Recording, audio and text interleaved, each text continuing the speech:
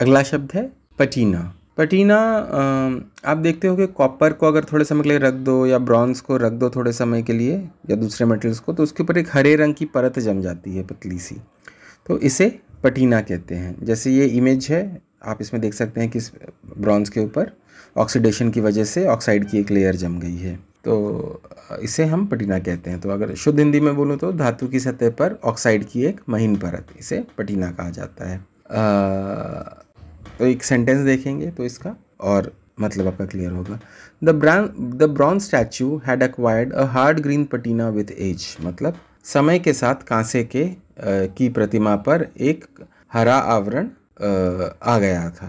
तो आ, ये पटीना का एक ये हुआ पर कई बार क्या होता है कैसे कुछ लोगों के ऊपर समय के साथ कोई परत उनकी पर्सनैलिटी में कोई परत आ जाती है या किसी भी तरह की परत, या दूध पे मलाई की परत आ जाती है, या चाय की परत, एक जो चाय पे हल्की सी परत आ जाती है, जो इससे चिपक जाती है, कई बार पटीना उनके लिए भी यूज़ किया जाता है। तो एक और सेंटेंस देखते हैं।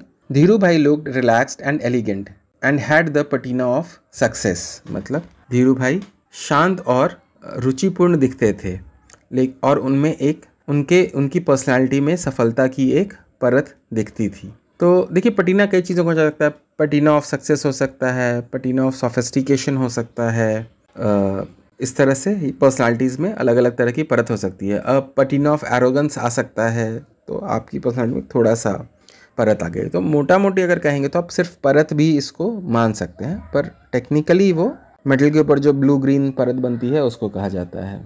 तो याद रखिएगा। धन्यवाद।